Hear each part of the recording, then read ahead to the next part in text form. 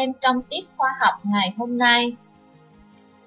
Trước khi vào bài mới, cô mời các em cùng ôn lại kiến thức cũ. Các em hãy cho biết, con người sử dụng năng lượng gió, năng lượng nước chảy trong những việc gì? Các em ạ, à, con người sử dụng năng lượng gió để chạy thuyền bồn, quay tua bin của nhà máy phát điện. Năng lượng nước chảy cũng làm quay tua bin của nhà máy phát điện, chuyên chở hàng hóa và quay bánh xe nước đấy. Các em thân mến, năng lượng gió, năng lượng nước chảy đã tạo ra nguồn điện cho mọi hoạt động trong xã hội. Chúng ta đã sử dụng năng lượng điện vào những việc gì? Những đồ dùng, máy móc nào sử dụng điện? Cách lắp mạch điện thắp sáng đơn giản như thế nào? Cô mời các em cùng trả lời câu hỏi đó qua bài học hôm nay. Bài sử dụng năng lượng điện. Bài này sẽ ghép bài 45 sử dụng năng lượng điện trang 92 và bài 46-47 lắp mạch điện đơn giản trang 94. Mục tiêu của bài học. Sau bài học, các em hiểu được. Về kiến thức, biết một số đồ dùng, máy móc sử dụng năng lượng điện, nhận biết được vật dẫn điện, vật cách điện.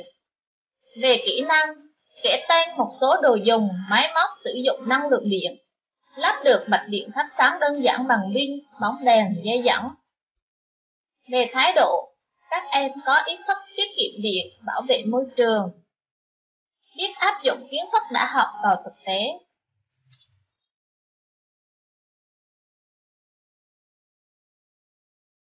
Ở bài học này, chúng ta sẽ tìm hiểu 5 nội dung. Thứ nhất, kể tên một số đồ dùng máy móc sử dụng năng lượng điện. Thứ hai, ứng dụng của dòng điện. Thứ ba, tìm hiểu mạch điện. Thứ tư, thực hành kiểm tra mạch điện. Và cuối cùng, tìm hiểu vật dẫn điện, vật cách điện. Trước tiên, chúng ta vào hoạt động 1, một số đồ dùng máy móc sử dụng năng lượng điện. Dựa vào vốn hiểu biết của bản thân và các em nhìn xung quanh nhà, các em hãy kể tên một số đồ dùng, máy móc sử dụng năng lượng điện và cho biết năng lượng điện mà các đồ dùng máy móc đó sử dụng được lấy từ đâu. Cô mời các em cùng suy nghĩ để tìm câu trả lời.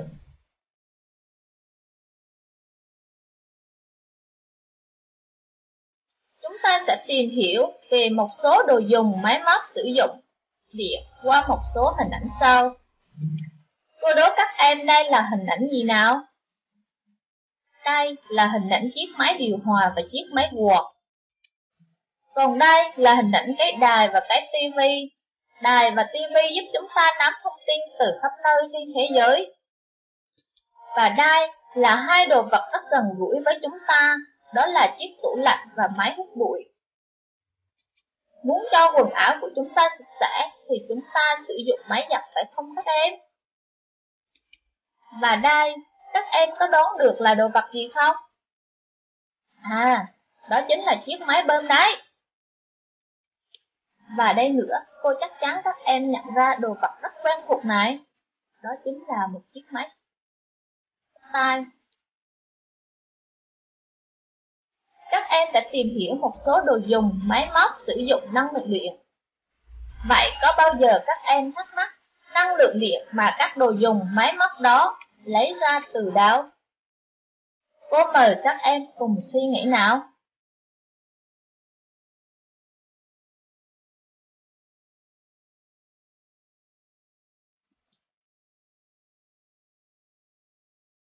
Em ạ, à, năng lượng điện mà các đồ dùng trên sử dụng được lấy từ dòng điện của nhà máy điện. Nước ta có nhiều nhà máy thủy điện và nhiệt điện. Cô ví dụ, nhà máy thủy điện Iyali Nhà máy thủy điện Sơn La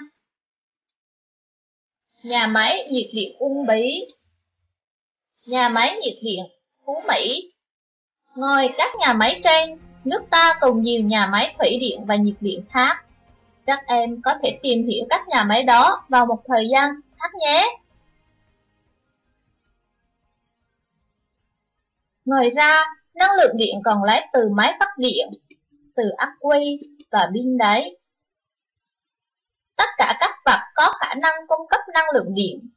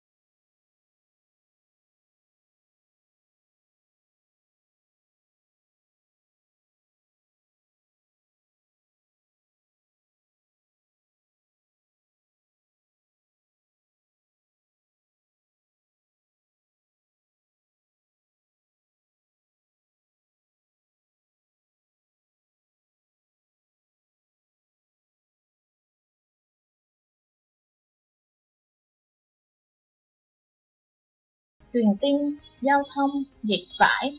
Các em hãy tìm các phương tiện dụng cụ không sử dụng điện và các phương tiện dụng cụ sử dụng điện. Tương ứng cùng thực hiện một hoạt động đó. Cô ví dụ, đối với hoạt động thắp sáng, các phương tiện dụng cụ không sử dụng điện chính là đèn dào, nén. Còn các phương tiện dụng cụ sử dụng điện là bấm đèn điện, đèn pin. Trong khi làm bài tập, các em hãy bấm tập dừng video này. Sau khi làm xong, các em ấn tiếp tục nhé.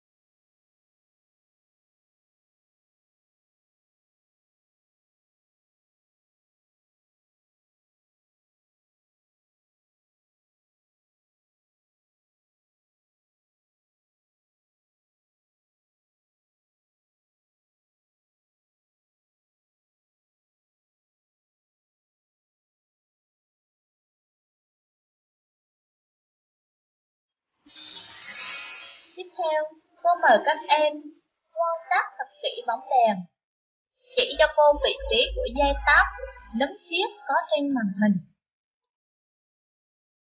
Như các em thấy, dây tóc là phần đã được cô đánh dấu màu đỏ.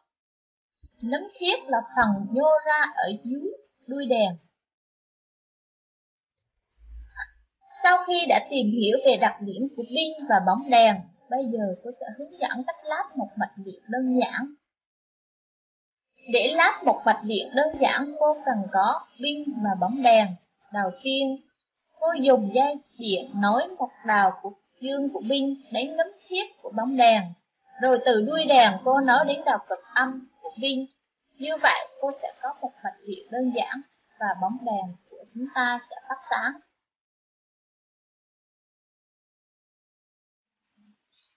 Sau khi làm thí nghiệm xong, cô muốn hỏi các em.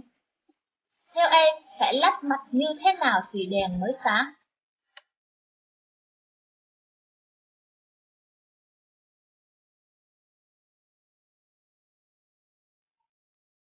Các bạn đã có câu trả lời chưa?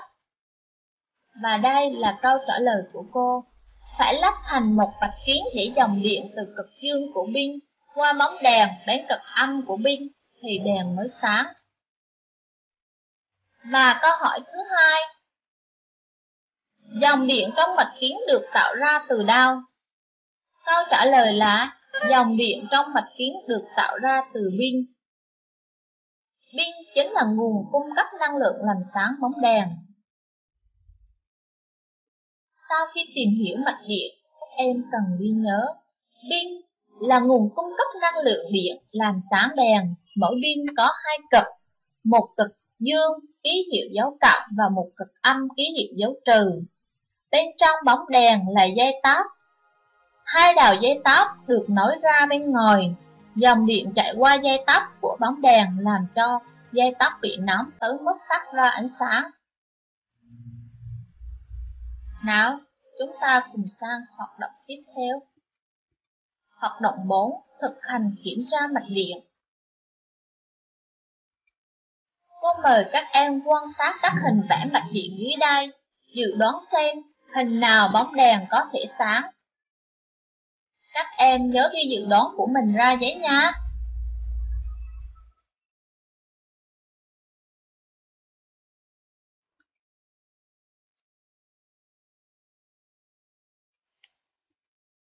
Các em cùng đối chiếu với cô nhé. Ở hình A, bóng đèn của chúng ta sẽ phát sáng vì đây là một vạch điện kính. Ở hình B, bóng đèn của chúng ta không sáng được vì đây là một vạch hở. Sang hình C, bóng đèn của chúng ta cũng không sáng được vì dòng điện phải được nối từ một cực của pin đến nấm thiết của bóng đèn. Ở hình D, bóng đèn của chúng ta sẽ phát sáng vì đây là một mạch điện kính. Ở hình A, bóng đèn của chúng ta cũng không sáng vì dòng điện phải được nối từ đuôi đèn đến một cực còn lại của pin. Như vậy, bóng đèn của chúng ta sẽ sáng ở hình A và hình D. Hãy so sánh kết quả này với dự đoán ban đầu của em nhé. Chúng ta bước sang hoạt động 5, vật dẫn điện, vật cách điện chúng ta thực hành lắp mạch điện bằng cách sử dụng bóng đèn, pin và dây điện. Hãy tìm cách áp sát bóng đèn.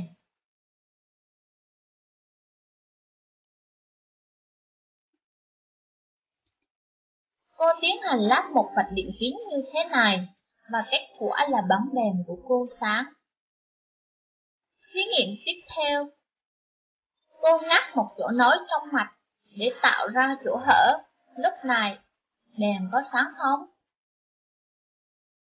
Cô đã thí nghiệm và bóng đèn của cô không sáng. Tiếp tục thí nghiệm tại chỗ hở, cô lần lượt dàn vào chỗ hở của mạch các vật liệu như nhựa, đồng, nhôm, sắt, gốm, gỗ, cao su, thủy tinh, bìa và quan sát đèn có sáng không. Sau khi làm xong thí nghiệm, cô có bản kết quả như thế này các vật liệu như đồng, sét thì đèn nó phát sáng. Còn đối với những vật liệu nhựa, cao su, thủy tinh, bìa thì đèn không phát sáng. Chứng tỏ đối với vật liệu đồng, sắt thì nó sẽ cho dòng điện chạy qua. Còn đối với vật liệu nhựa, cao su, thủy tinh, bìa lại không cho dòng điện chạy qua. Vậy, các vật cho dòng điện chạy qua người ta gọi đó là vật dẫn điện. Còn các vật không cho dòng điện chạy qua gọi là vật tách điện.